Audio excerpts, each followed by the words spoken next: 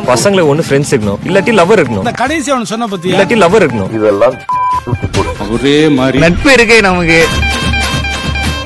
எனக்கு என் ஃப்ரெண்டு முக்கியம். இதுக்கப்புறம் என்ன நடந்தாலும் ஃப்ரெண்ட்ஷிப் தான். மத்ததெல்லாம் மண்ணா போச்சு.